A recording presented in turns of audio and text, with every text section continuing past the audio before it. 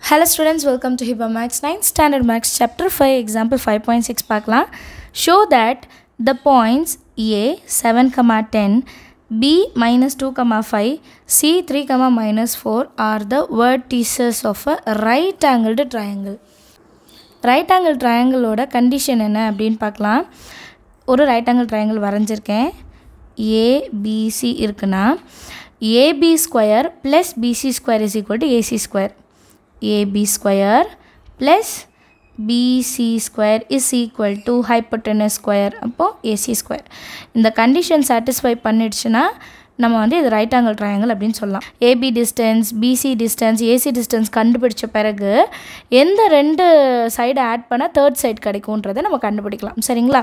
So first சொல்யூஷனில் given datas and distance ஃபார்மில் என்னென்னு எழுதிடலாம். சொல்யூஷனில் A value seven comma ten B value minus two comma five and C value வந்து three comma minus four எல்லாத்துக்குமே distance formula தான் use பண்ண போகிறோம் so distance formula d is equal to root of x two minus x one whole square plus y two minus y one whole square எல்லா சமுக்குமே எழுதுங்க so that உங்களுக்கு ரொம்ப ஈஸியாக மனப்பாடம் ஆகிடும் தனியாக அதுக்கு நீங்கள் படிக்க வேண்டியதே இல்லை. ஒரு ஒரு சம்முக்கு முன்னாடி எழுதும்போது அது நமக்கு தானாகவே மனசில் பதிஞ்சிடும் சரிங்களா? ஃபஸ்ட்டு ஏபி ஸ்கொயர் கண்டுபிடிக்கலாம். ஏ வேல்யூ வந்து seven comma ten B value minus two comma five x one y one x two y two இப்போ நம்ம டிஸ்டன்ஸ் என்னன்னு கண்டுபிடிக்கலாம். சரிங்களா? எக்ஸ் டூனா மைனஸ் டூ ஃபார்முலாவில் மைனஸ் இருக்குது எக்ஸ் ஒன் செவன் ஒரு square plus y two minus y one y two வந்து ஃபைவ் மைனஸ் ஒய் ஒன் வந்து டென் அதுக்கு ஒரு ஸ்கொயர் நெக்ஸ்ட் லைனில் மைனஸ் டூ மைனஸ் செவன் ரெண்டு மைனஸ் ஆட் பண்ணும். Seven plus two nine and minus simple எழுதணும். Whole square plus ten minus five வந்து five பெரிய நம்பருக்கு மைனஸ் இருக்குது மைனஸ் ஃபைவ் ஒரு ஸ்கொயர் சரிங்களா? அடுத்த லைனில் nine nine are eighty one minus into minus plus ஆகிடும் plus five five are twenty five minus into minus plus this is equal to one zero six இதுக்கு root இருக்கும். சரிங்களா? But நம்ம ஃபார்முலாவில் எழுதும்போது ஏபி ஸ்கொயர்னு எழுதியிருந்தேன்னா அப்போ இந்த ரூட் வந்து ஏபி சைட் மாறும்போது ஸ்கொயர் ஆகிட்டு வெறும் ஒன் ஜீரோ சிக்ஸ் நம்ம எழுதிட்டா போதும். புரியுதுங்களா? Root equal to other side போனால் ஸ்கொயர் ஆகிடும் நமக்கு இந்த ஏபி ஸ்கொயர் தானே வேணும். அதனால் இந்த மாதிரி மாற்றி எழுதிக்கலாம்.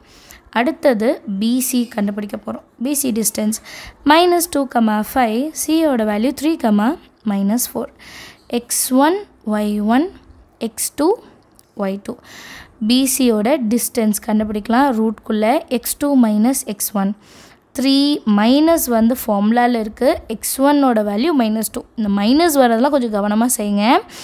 ப்ராக்கெட் க்ளோஸ் பண்ணிடலாம்.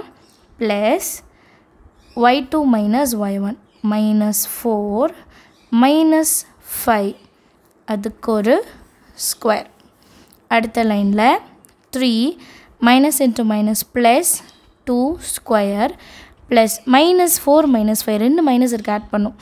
Five plus four nine minus இருக்கனால மைனஸ் நைன் அதுக்கு ஒரு ஸ்கொயர் சரியா? இப்போ அடுத்த லைனில் த்ரீ ப்ளஸ் டூ வந்து ஃபைவ்னு எடுத்துக்கலாம். Five square twenty five plus nine nine are eighty one minus into minus ப்ளஸ்ன்னு ஆகிடும் இது ரெண்டுத்தையும் ஆட் பண்ணால் six ten one zero six root equal to BC square root equal to கன்சைட் போனால் ஸ்கொயராக மாறிடும். வெறும் ஒன் ஜீரோ சிக்ஸை நம்ம எழுதிட்டால் போதும். ஸ்கொயர் ரூட் ஈக்குவல் டு கதை சைட் போகும்போது ஸ்கொயர் ஆகிடும் ஸோ ஒன் ஜீரோ சிக்ஸ் எழுதினா போதும். அடுத்தது ஏசி கண்டுபிடிக்கலாம். ஏசியோட வேல்யூ எழுதியிருக்கேன். Seven comma ten three comma minus four x one y one x two y two distance ஃபார்ம்லலாம் substitute பண்ணலாம். ரூட் உள்ள x two minus x one three minus seven whole square plus y two minus y one y two minus four minus of ten சரிங்களா? இதுக்கு ஒரு whole bracket எழுதிக்கலாம். And square square ரூட்குள்ளே three minus seven four செவன்லேருந்து three போனால் ஃபோரா பெரிய நம்பருக்கு மைனஸ் இருக்கனால மைனஸ் ஃபோர் அதுக்கு ஒரு square plus minus four minus ten ரெண்டு மைனஸ் இருக்குது அப்போ ஆட் பண்ணோம் டென் ப்ளஸ் ஃபோர் ஃபோர்டீன் அதுக்கு ஒரு ஸ்கொயர் நெக்ஸ்ட் லைனில் four fours are sixteen minus into minus plus ஆகிடும் அகெயின் ஃபோர்டீன் இன்ட்டு ஃபோர்டீன் எவ்வளோ? One ninety six minus into minus plus ஆகிடும் இது ரெண்டுத்தையும் ஆட் பண்ணலாம். ஒன் நைன்ட்டி சிக்ஸ் இன்னொன்று வந்து சிக்ஸ்டீன் டுவெல் பேலன்ஸ் ஒன் நைன்க்கு அப்புறம் ten eleven balance one two two one two ரூட்குள்ளே two one two இப்போ ஏசி ஸ்கொயருன்னு எழுதிட்டு வெறும் டூ ஒன் டூ எழுதிக்கலாம். சரிங்களா? இப்போ நம்ம கண்டுபிடிச்சதெல்லாம் பாருங்களேன்.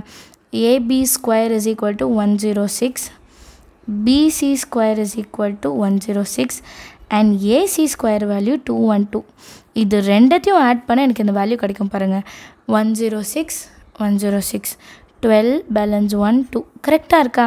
So AB square plus BC square is equal to AC ஸ்கொயர்னு கண்டுபிடிச்சிட்டோம்.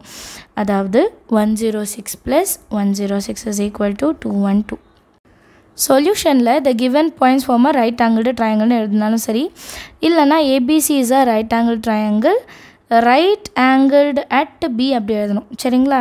ஏன்னா எந்த இடத்துல ரைட் ஆங்கிள் வருது அப்படின்னு கேட்குறாங்க ரைட் ஆங்கிள்டு அட் பி ஏன் பி வந்து ரைட் ஆங்கிள்னா இப்போ நம்ம டயக்ராம் வரையும் போது இங்கே பி இருந்தால் தான் ஏசி வரும். So AC square is equal AB plus BC so பின்ற இடம் தான் ரைட் ஆங்கிள்னு மென்ஷன் பண்ணும். எல்லாருக்கும் சம் ஈஸியாக அண்டர்ஸ்டாண்ட் ஆச்சு. தேங்க்யூ ஸோ மச் ஃபார் வாட்சிங்